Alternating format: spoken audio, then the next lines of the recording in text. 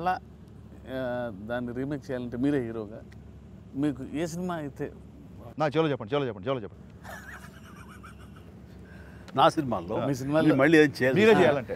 నాకు నాకు ఈ మధ్య సంవత్సరాల్లో వన్ ఫిఫ్టీ సినిమా తర్వాత కానీ లేదా టెన్ ఇయర్స్ మన పాలిటిక్స్లో ఉండి ఒక వన్ ఫిఫ్టీ సినిమాలో ఒక మాదిరి వినోద సినిమా అది. ఆ తర్వాత సీరియస్ సినిమా సైరా. ఈ యొక్క ఫోర్ అండ్ హాఫ్ ఫైవ్ ఇయర్స్లో plus nine years politics total ఈ పద్నాలుగు సంవత్సరాల్లో నేను నవ్వటం మర్చిపోయానయ్యా.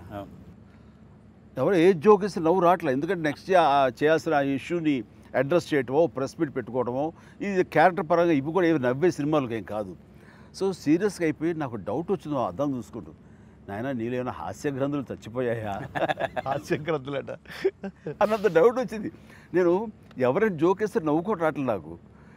అందుకని మళ్ళీ అనిపిస్తుంది ఒక దొంగ మొగుడు ఎస్ ఒక రౌడీ అల్లుడు. ఒక రౌడీ అల్లుడు ఇలాంటి క్యారెక్టర్స్ చేస్తే కనుక ఐ థింక్ మళ్ళీ నా విశ్వరూపం చూపిస్తాను అనిపిస్తుంది. విరుస్తున్నాయి వస్తే ఉన్నాయి. Yes. అది నువ్వే చేయాలి. లేదు, వెళ్ళు వెళ్ళు please thank you thank you thank you sir నాకు తెక్కుంది దానికో లెక్క ఉంది కా బాప్ రాయాలి. దాన్ని బ్రదర్ రాస్తాం దాని పెద్దనే రాస్తాం